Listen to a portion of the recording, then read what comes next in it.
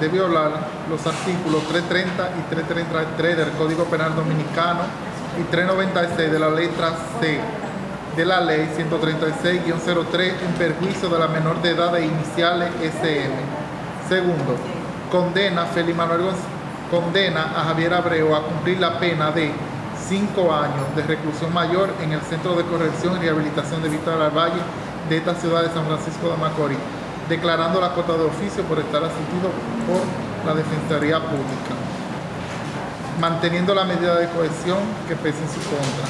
Cuarto, difiere la lectura íntegra de la presente decisión para el día 11 de marzo del año 2019 a las 9 horas de la mañana.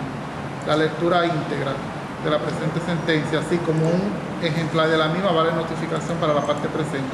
Advierte a la parte que cuentan con un plazo de 20 días para recurrir la misma. ¿Es cuánto?